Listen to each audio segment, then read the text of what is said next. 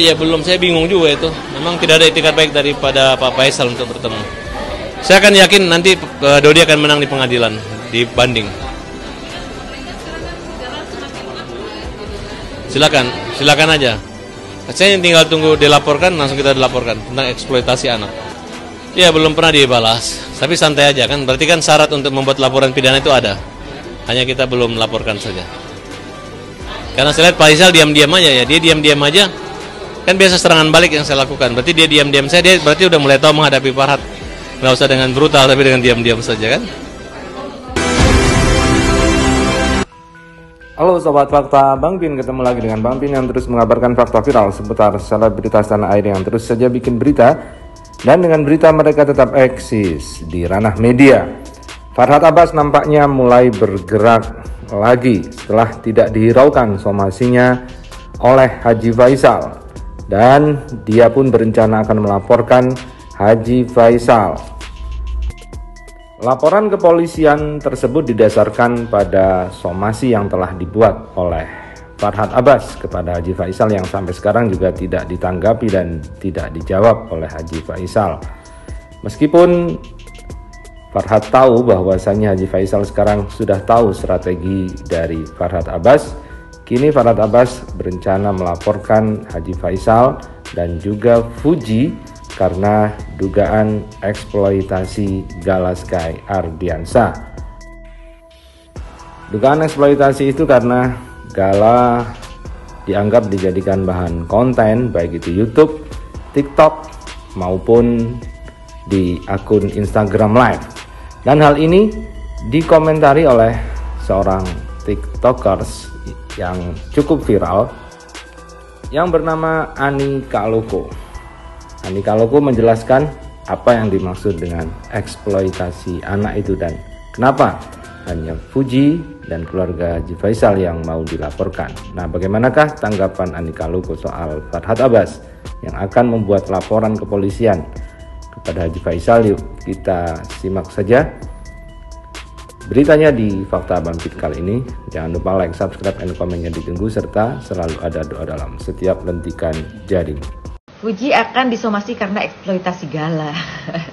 Tapi yang aku heran kok kenapa Puji doang sih yang dinyatakan uh, akan disomasi. Kan masih banyak juga tuh yang ngajak-ngajak si gala untuk main TikTok, yang juga ngajak gala untuk syuting dan lain-lain. Bukan Fuji aja loh. Bahkan yang pengasuhnya Gala tuh Ida sama Siska juga kan jangankan bikin VT dia sering live tahu sama Gala juga. Sekarang kita cari tahu nih apa sih arti dari eksploitasi yang sebetulnya?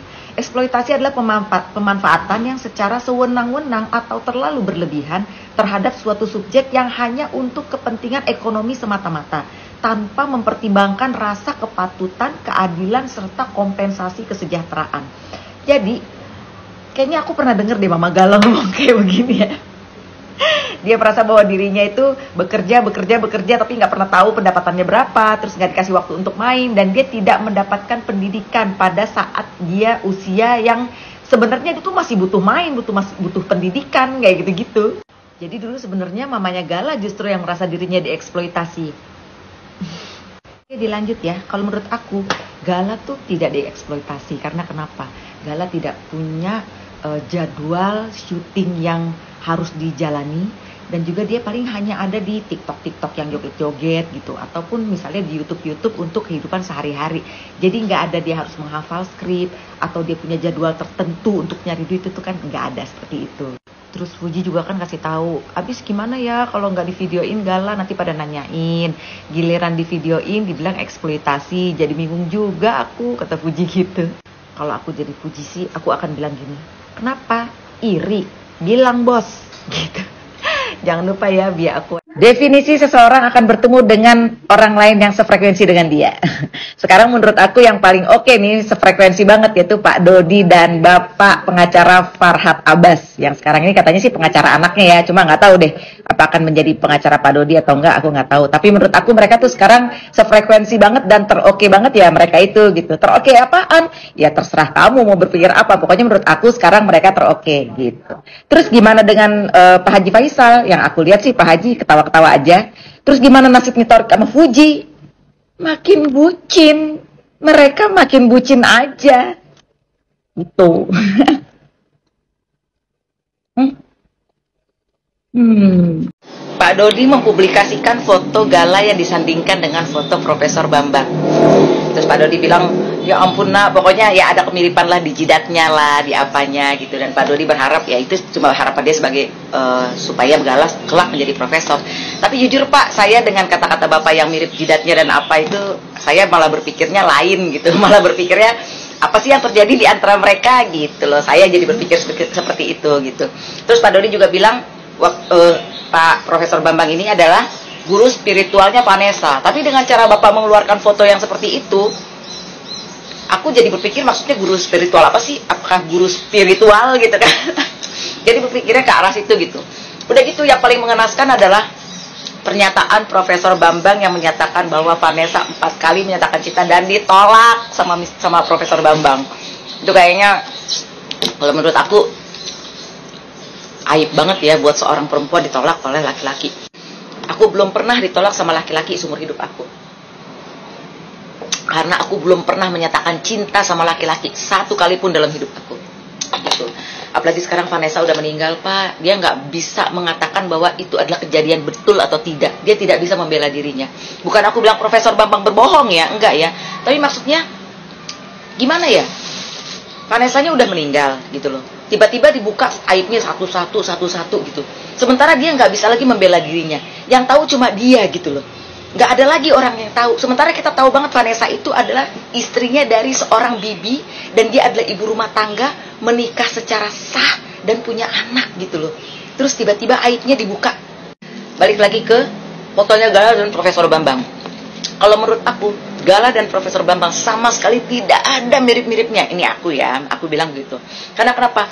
Gala lebih mirip dahinya tuh ke Pak Faisal. Apa namanya? Belah-belah pinggir rambutnya, lebar-lebar dahinya itu mirip banget sama Pak Faisal. Bagian mata sininya mirip sama Bu Dewi. Bibir sama dagunya itu mirip banget sama Vanessa.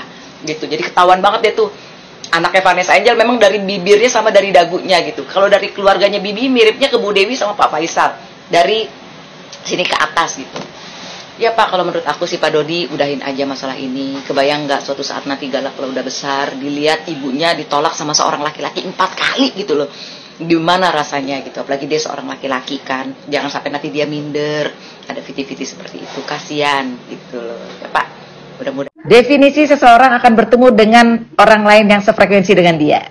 Sekarang menurut aku yang paling oke okay nih sefrekuensi banget yaitu Pak Dodi dan Bapak pengacara Farhat Abbas yang sekarang ini katanya sih pengacara anaknya ya, cuma nggak tahu deh apa akan menjadi pengacara Pak Dodi atau enggak aku nggak tahu. Tapi menurut aku mereka tuh sekarang sefrekuensi banget dan teroke banget ya mereka itu gitu. Teroke apaan? Ya terserah kamu mau berpikir apa. Pokoknya menurut aku sekarang mereka teroke gitu. Terus gimana dengan uh, Pak Haji Faisal? Yang aku lihat sih Pak Haji ketawa ketawa-ketawa aja. Terus gimana nasibnya Torik sama Fuji? Makin bucin. Mereka makin bucin aja. Itu. hmm.